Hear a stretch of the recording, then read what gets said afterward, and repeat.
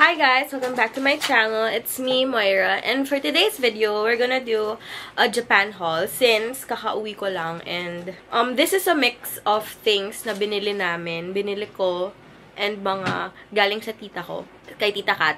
If you've seen my last vlog, makikita niyo siya doon. But let's get started! So, the first thing that I wanna share with you is the things na binigay ni Tita Kat. So, the first thing that she got us is this um, Night Care Retinol Skin Lotion. Uh, hindi pa naman ako nag-retinol, pero kay mommy to.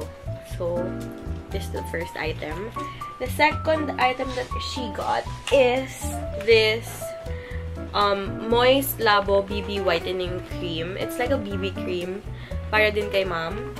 Tapos, she got us um, Naturactor Magical na um, parang lip cream siya na let me show you, na green siya. Tapos pag pinot on mo siya, kung ano yung color ng lips mo, yan yung color niya sa'yo.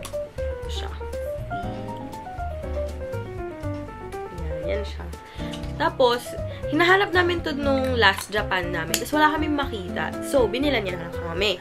So, tigi-isa kaming lahat. So, ako, si mom, si Margo, si Tita Rob, and si Mimi. The next thing she gave us is this Yakult na barley na may um, iba't ibang flavors.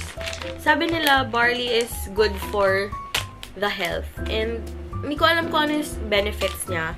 But, ayun, she, it's good for the health, yung barley. And, she also got us, like, barley-barley na drink lang.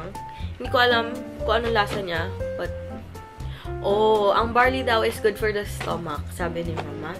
And parang sabi nila, um, ang barley is parang, it helps sa cancer patients. Parang ganun. And the next thing is this, um, powdered tea, powdered green tea.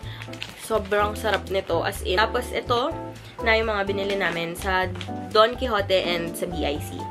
So, the first thing I got is this, um, chocolate. Alam, hindi ko alam kung anong tawag dito, pero it's from Meiji. Sobrang sarap nito. Ever since nag-Japan si mama, ito binibili niya. Sobrang sarap. Alam ko, available din siya sa mga Korean marts, pero mas masarap yung Japanese version niya kaysa sa Korean. Sorry. But, yeah. I bought four kasi meron pa naman sa ref, pero, alam mo yun, just in case. The next thing is this Choco Bee! This is my favorite. Like, Chocobi is my favorite. Not only kasi Shinchan siya, pero masarap siya. Para siyang Coco Crunch na hindi ko maintindihan. Basta masarap. Tapos gusto ko din yung mga, yan, yung mga stickers na Shinchan na kasama. Cute lang niya, ganun. But it's yummy, pero sobrang sugary. Pero sobrang sarap yan. I bought two. Tapos kumain din ako nito doon. Parang every other day. The next thing is our moisturizer. It's from Hada Labo. Ito yung, as you seen from my previous vlogs, ito na talaga yung moisturizer namin. But, ito talaga, like, hydrating lotion siya. Tapos, um, yun nga, sabi kasi ng derma ko, masyadong hydrated yung skin ko. So, once a day ko lang siya ginagamit, every night. So, yan, ito. So, I bought two din. Yan, two siya. The next thing is eye drops. So, I bought the blue one and the orange one. Yan. Sobrang refreshing na to sa eyes. Hindi siya yung parang sa contact lens na clean lang niya. Parang, basta meron siyang vitamins. Yun. I also bought this Roto na parang yung wa parang water sa contact lens when you use it. Bago mo ilagay sa eyes mo, yan, ito siya. Kasi, I bought contact lens. I bought the Crush on You Chrome One Day Color Contact Lens in 141 Smoke Gray. Yan, maganda yung color nito. Tapos, I forgot kung sino yung model niya eh. Basta, um, Korean. Sa Billy ata, I forgot kung sino. Basta yon The next thing is this grape jellies. It's from Meiji din. Pero um, yan, fruity gummy na grapes. Sobrang sarap nito as in. Like, sa bag ko, laging merong ganito.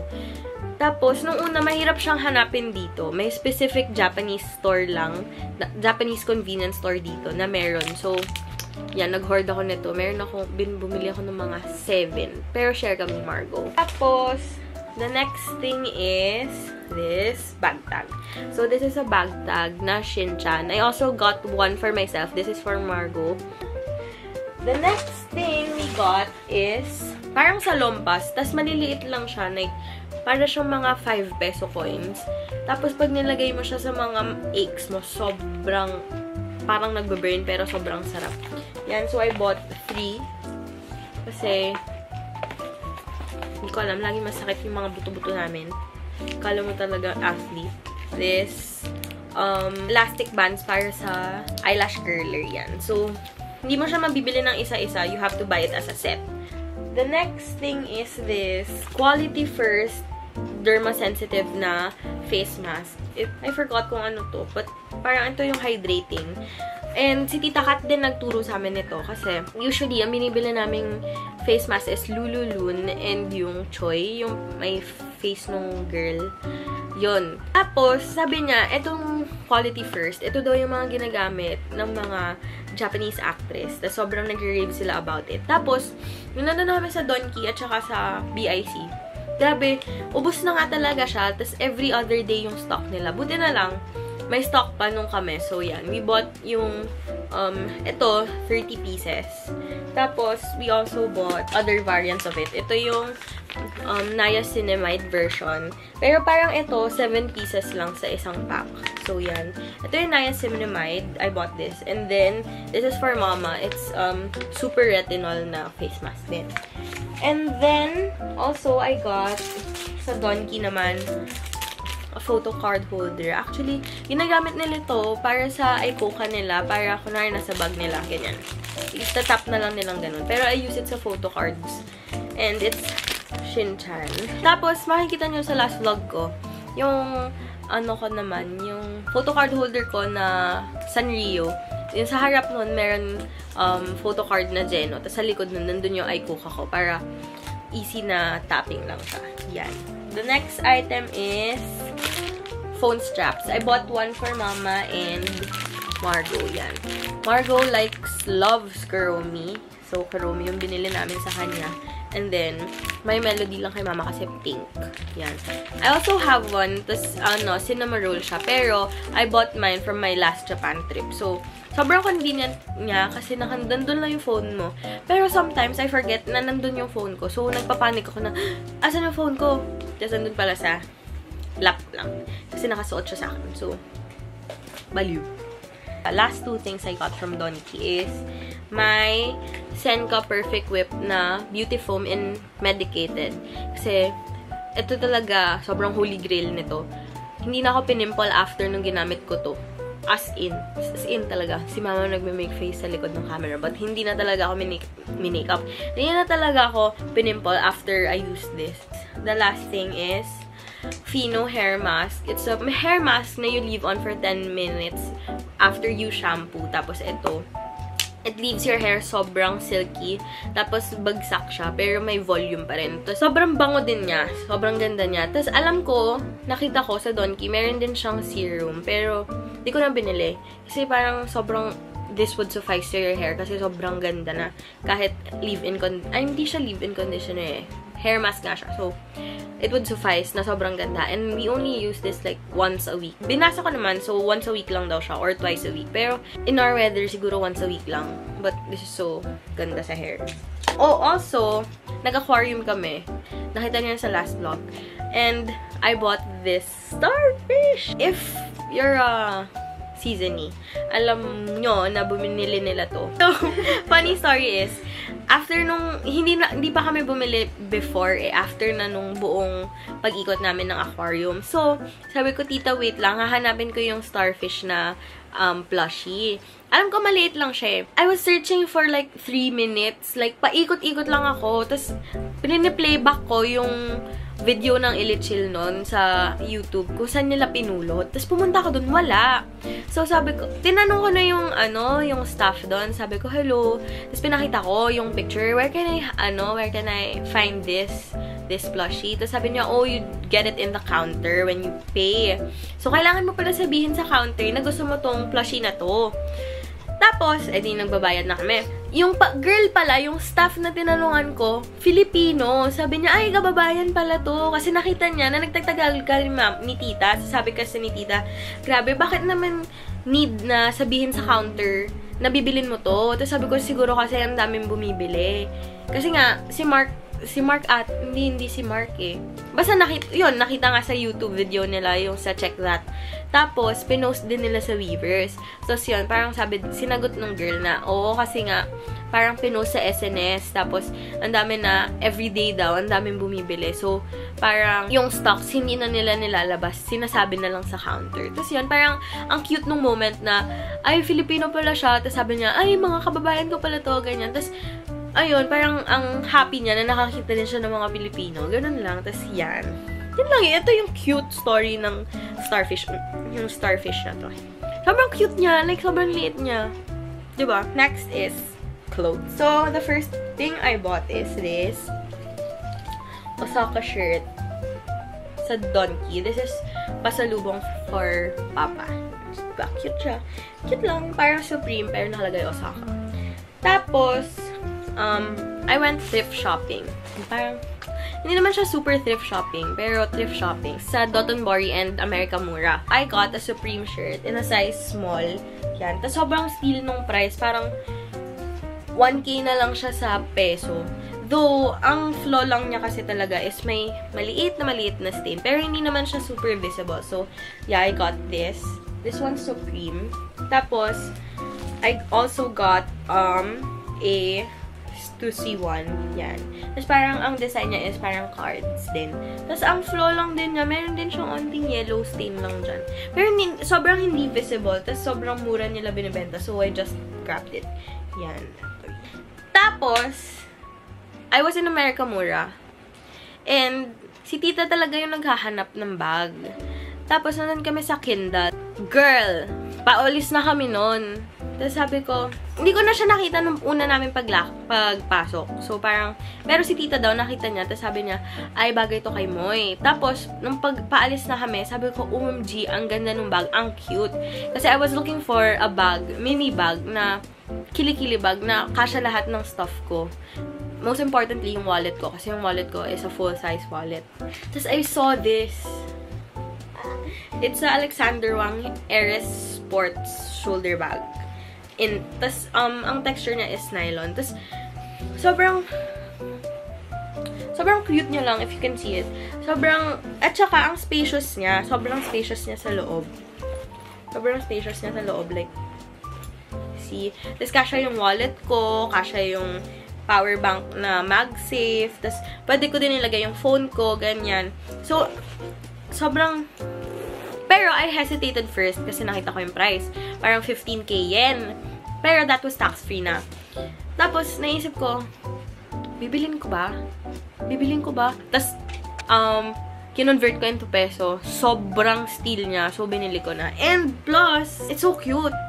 Tapos parang ang subtle lang. I mean, it's not so subtle. Pero kasi may malaking wang. But, super steal. Sobrang steal nito. And I'm glad tita pointed out to me. Sobrang ganda.